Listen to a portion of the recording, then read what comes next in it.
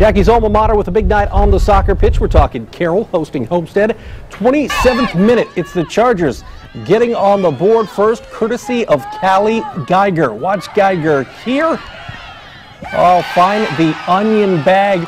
More on her big night in a second, but Homestead would respond. You knew they would. Lauren Mollering would slam this one home in front. It would be tied 1-1 at the half, but Geiger would tally a hat trick in 3A number 20 Carroll knocks off 3A number 5 Homestead 3-2 your final in favor of the Chargers.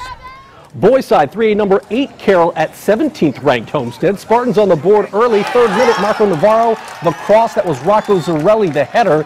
One zip Spartans take another look. It just nips the noggin of Zarelli there as Homestead leads one zip at the half, but Carroll scores two in the second half. Chargers come back to win two to one, so they get the soccer sweep over the rival Spartans in boys and girls wins.